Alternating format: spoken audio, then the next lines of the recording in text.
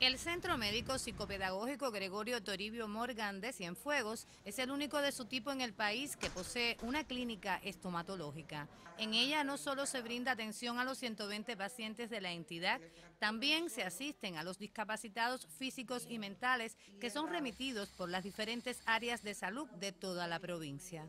¿Qué pasa? Que cuando eso en las áreas de salud, estos tipos de pacientes, ellos no pueden eh, llevar consigo todos los tratamientos que el paciente lleva, nos los remiten a nuestro servicio para ver cómo este paciente es tratado en lo adelante. El trabajo de las dos profesionales que aquí laboran no es nada fácil.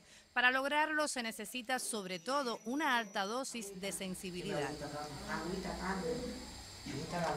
Pero, pero abre, Yo tengo sentido de pertenencia, no por gusto llevo tantos años, en una, en una labor que no a todo el mundo le gusta.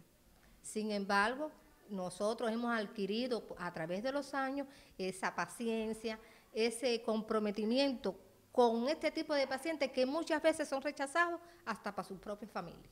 Además del chequeo que les realizan cada seis meses para prevenir el cáncer bucal, el pasado año se brindaron aquí más de 1.900 consultas. El reto de las especialistas es lograr atenderlos con métodos convencionales, pues para este tipo de pacientes es lo más beneficioso. De no ser posible, utilizan otras alternativas. Se analiza, se le mandan a hacer complementarios, se le hacen un chequeo sistémico y se llevan a los distintos hospitales de acuerdo a la edad y se tratan con anestesia general. Con ternura y profesionalidad, estas dos féminas han ganado la confianza de pacientes especiales.